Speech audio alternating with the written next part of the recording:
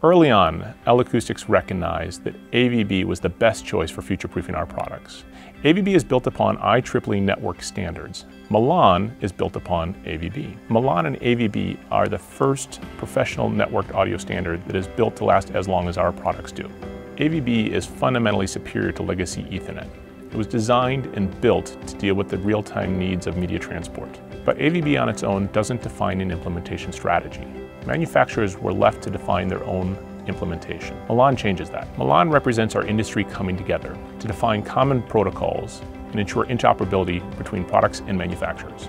What uh, L Acoustics and our uh, fellow industry-leading manufacturers did with uh, Milan was to take uh, AVB to a plug-and-play level of ease.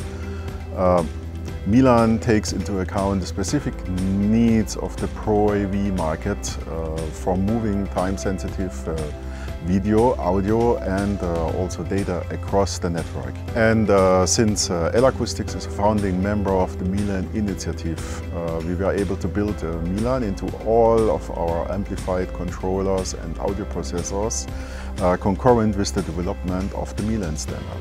As a founding member of the Milan initiative, we've been spending our time doing the heavy lifting now so that you don't have to spend your time as an IT expert. We want you to focus on what you do best, creating amazing audio experiences for your audience and your clients.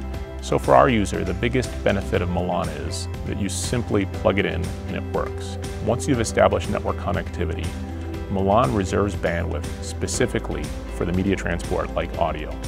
This ensures you'll never have a dropout or a loss of information during a show or live performance. There's a different show almost every night, and we have to stay on top of it every time.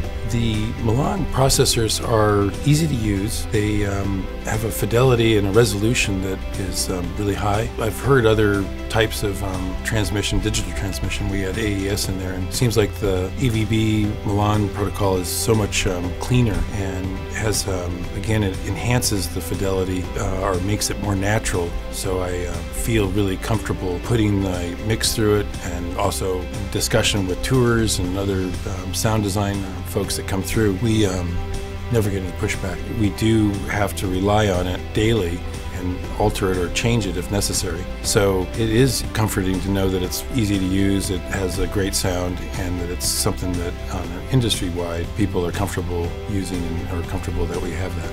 The beauty of Milan is you simply connect devices together, whether they're the same brand or from different manufacturers, they'll just work. You can get back to doing what you want to, making your shows look and sound fantastic.